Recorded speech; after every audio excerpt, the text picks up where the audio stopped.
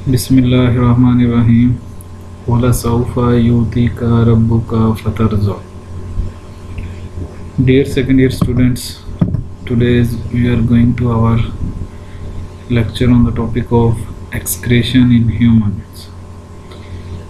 अज़ीज़ तलबा आज हम अपने लेक्चर का आगाज़ करते हैं एक्सक्रेशन इन ह्यूमंस पर तो आज के इस लेक्चर के अंदर हम बात करेंगे ह्यूमंस में कौन कौन से मेटाबॉलिक वेस्ट पैदा होते हैं और इसके साथ साथ स्किन क्या रोल प्ले करती है और नेचर ने अल्लाह ताला ने हमारी बॉडी के अंदर एक्सक्रीटरी ऑर्गन के तौर पर लीवर के ज़िम्मे क्या क्या अहम फ़ंक्शंस रखे हैं और इसी तरह से हम देखेंगे कि किस तरह से यूरिया साइकिल के ज़रिए से लीवर हमारी बॉडी के अंदर स्क्रीटरी वेस्ट यूरिया की फॉर्म में पैदा करता है।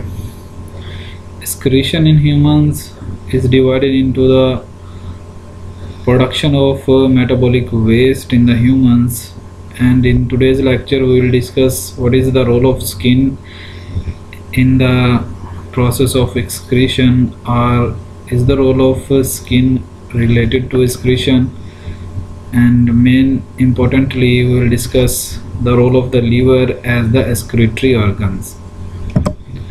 So first of all we are going to discuss the metabolic waste in the humans. All the waste products that are produced in our metabolisms uh, are the products uh, are as the byproduct of our metabolic reactions the main important or the first waste product is the urea. And urea is produced from the metabolism of amino acid and these amino acids we have taken with the food and after the digestion of these amino acids uh, deamination is the process that occurs in our body or the liver that produces the ammonia and ammonia is then converted into the urea by urea cycle the second type of the waste is the creatinine that is produced from the muscles creatine phosphate. Creatine phosphate in our muscle is a protein that transport oxygen to our muscles like the hemoglobin. The third waste product is the uric acid that is produced from the metabolism of nucleic acids. These nucleic acids contains the higher amount of the amino groups by the breakdown of these nucleic acid in our body uric acid is produced. The fourth waste product is the bilirubin that is produced from the breakdown of the hemoglobin. As our old red blood cells broken down in the liver these uh, proteins present in the red blood cells is the hemoglobins. When the hemoglobins are broken down a product or a waste product is produced in the form of the bilirubin and uh, the fifth waste products includes the toxins that are produced within the body as the pyrogens uh, that are produced by the pathogens or the white blood cells they produced. These pyrogen in our body these are also considered as the waste products at our metabolic level and some kind of the waste are ingested as the pesticides, drugs, and the food additives in our food items. अगर देखा जाए तो metabolic level पर इंसानों के अंदर बहुत सारे वेस्ट मटेरियल्स पैदा होते हैं, जिनमें सबसे पहला यूरिया है, जो कि अमाइनो एसिड्स की मेटाबॉलिज्म से पैदा होता है, जो कि हमारी बॉडी में खुराक के ज़रिए से दाखिल हुए। और इसी ही तरह से एक वेस्ट प्रोडक्ट क्रिएटिनिन है जो कि मसल्स के अंदर पाए जाने वाली एक प्रोटीन क्रिएटिन फॉस्फेट की ब्रेकडाउन से पैदा होता है। तीसरा वेस्ट प्रोडक्ट यूरिक एसिड है जो कि न्यूक्लिक एसिड्स की मेटाबॉलिज्म से हमारी बॉडी में पैदा होता है। और इसी तरह से पांचवा वे, चौथा वेस्ट प्रोडक्ट बाइलोरबीन है जो कि हीमोग्लोबिन की ब्रेकडाउन से पैदा होता है। क्योंकि जैसे ही रेड ब्लड सेल्स अपनी एज अपनी लाइफ मुकम्मल कर लेते हैं तो उनमें मौजूद हीमोग्लोबिन वाली प्रोटीन ब्रेक डाउन होती है और उससे पैदा होने वाला जो वेस्ट है, वो बाइलोरबीन की सूरत में होता है। इसके अलावा हमारी बॉडी के अंदर बहुत सारे जहरीले मादे पैदा होते हैं या हमारी बॉडी के अंदर खुराक के ज़रिए से खाए जाते हैं। जैसे कि पायरोजन्स हैं, जो कि पैथोजन्स या जरासीम जो हमारी बॉडी के अंदर मौजूद हैं, या हमारी बॉडी के वाइट ब्लड सेल्स उन पैथोजन्स के पैदा करदा जहरों को ख़त्म करने के लिए पैदा करते हैं। और इसी तरह से पेस्टिसाइड्स की सूरत में जो कि वेजिटेबल्स पर की जाती हैं, और इसी तरह से ड्रग्स जो कि बहुत सारी अद्वियात हम इस्तेमाल करते हैं, और इसी तरह से फ़ूड एडिटिव्स जो हम अपने खाने पीने वाली चीज़ों में फ्लेवर के लिए डालते हैं, ये तमाम के तमाम हमारी बॉडी के लिए वेस्ट प्रोडक्ट्स यानी टॉक्सिन कंसीडर किए जाते हैं। तो लीवर इन तमाम तरह के वेस्ट प्रोडक्ट को डिटॉक्सीफाई भी करता है, ताकि इनके टॉक्सिक इफ़ेक्ट से बॉडी को बचाया जा सके। तो ये वो पाँच मेटाबॉलिक लेवल पर पैदा होने वाले इंसानों में वेस्ट प्रोडक्ट्स हैं। सो next is the role of skin. As we have seen the skin produces uh, sweat and uh, the sweat contains the water and salts.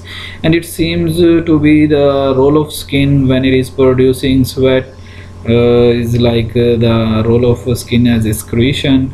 Uh, but we see that the sweat is produced for the purpose of thermoregulation. अगर हम देखें तो skin हमारी इसमें sweat glands मौजूद हैं और ये स्वेट ग्लैंड्स स्वेट जब पैदा करते हैं तो उनके ज़रिए से पानी और नमकियात स्किन से खारिज होते हैं। तो ऐसा लगता है कि स्किन भी शायद एक्सक्रीटरी रोल प्ले करती है। लेकिन अगर देखा जाए तो स्वेट का पैदा होना हमारी बॉडी के अंदर ये एक्सक्रीशन के मकसद से पैदा नहीं होता बल्कि पसीना थर्मो रेगुलेशन के लिए यानी बॉडी के टेम्परेचर को कंट्रोल करने के लिए पैदा होता है। In the similar way, skin also has the sebaceous gland that produces the sebum, and the sebum is an oily secretion that produced more importantly on the face and the sebum is produced for the purpose of protection against the germs and the ultraviolet radiations in our environment. Therefore the skin is not an excretory organ because the sweat gland that produces the sweat is in the response of temperature regulation or the thermoregulation and when the sebaceous gland produces sebum it is in the response of protection against the germs तो इसी तरह से अगर हम देखें skin के अंदर पाए जाने वाले सेबेशियस ग्लैंड जब सीबम पैदा करते हैं तो ये सीबम एक ऑयली सिक्रीशन है जो ख़ास तौर पर चेहरे पर पैदा होती है या चेहरे की स्किन पर पैदा होती है। तो इस सीबम का पैदा होना अक्सर में जो जरासीम चेहरे की स्किन पर असरअंदाज होते हैं, उनसे बचाना है। और जो अल्ट्रावायलेट रेडिएशन हमारे इन्वायरमेंट में मौजूद हैं उसके जहरीले असरा से हमारी बॉडी के सेल्स की प्रोटेक्शन करनी है।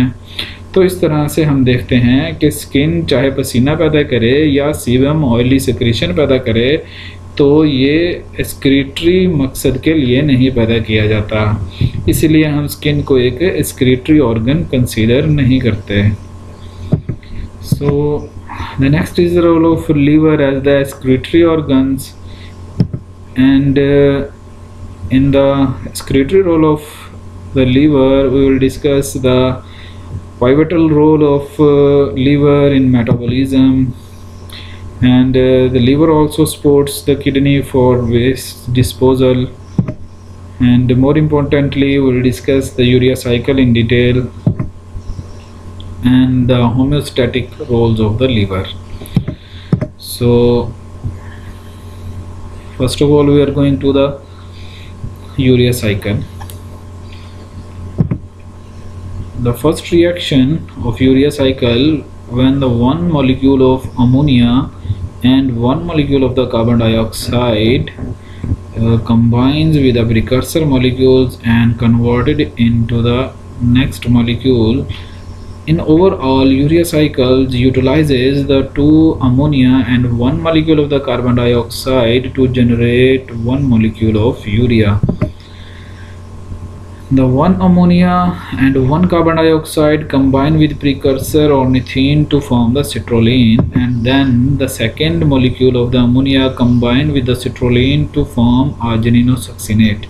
This argininosuccinate is then splitted by an enzyme arginase into urea and arginine and this arginine is then converted back into the ornithine अगर यूरिया साइकिल को देखा जाए तो यूरिया दो अमोनिया के मॉलिक्यूल और एक कार्बन डाइऑक्साइड के मॉलिक्यूल के मिलने से बनता है, जो कि यूरिया साइकिल में दाखिल होते हैं।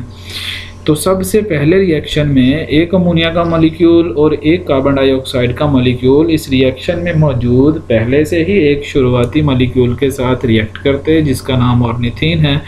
तो जब ऑर्निथीन के साथ एक अमोनिया का मॉलिक्यूल और एक कार्बन डाइऑक्साइड का मॉलिक्यूल रिएक्ट करता है तो एक नया कंपाउंड सिट्रोलिन बनता है। इस सिट्रोलिन के साथ दूसरा अमोनिया का मॉलिक्यूल कंबाइन होता है और ये एक नए कंपाउंड में बदलता है, जिसका नाम आर्जिनिनो सक्सीनेट है। और फिर इसके बाद आर्जिनिनो सक्सीनेट को एक एंजाइम आर्जिनेज की मदद से दो मॉलिक्यूल्स में तोड़ दिया जाता है। एक आर्जिनिन और दूसरा यूरिया का मॉलिक्यूल होता है। इस आर्जिनिन को दोबारा से ऑर्निथीन में कन्वर्ट कर दिया जाता है। No there is the of these four uh, reactions. uh, at the first step one molecule of ammonia and one molecule of the carbon dioxide will enter in the urea cycle. And at the second step the second ammonia or the second nitrogen of the urea cycle enters in the urea cycles. And one molecule of uh, urea is generated by the two molecules of the ammonia and one molecule of the carbon dioxide that are shunted in the urea cycle अगर urea cycle को देखा जाए तो पहले मरहले में ammonia का molecule carbon dioxide के मॉलिक्यूल के साथ ऑर्निथीन ऑर्निथीन से रिएक्शन करके सिट्रोलिन पैदा करता है। इस सिट्रोलिन से अमोनिया का दूसरा मॉलिक्यूल रिएक्ट करके ऑर्जिनिनोसक्सीनेट बना रहा है और इस ऑर्जिनिनोसक्सीनेट को एक एंजाइम आर्जिनिन की मदद से यूरिया के अंदर और एक ऑर्जिनिन के मॉलिक्यूल में तोड़ दिया जाता है। इस ऑर्जिनिन से दोबारा फिर ऑर्निथीन का मॉलिक्यूल यानी प्रीकर्सर मॉलिक्यूल पैदा कर लिया जाता है, ताकि इस यूरिया साइकिल के ज़रिए से नए पैदा होने वाले अमोनिया और कार्बन डाइऑक्साइड के मॉलिक्यूल्स को यूरिया में कन्वर्ट किया जाए। तो ये वो यूरिया साइकिल है जो हमारी बॉडी के अंदर लीवर में चलता है और ये यूरिया खून में शामिल हो जाता है और उस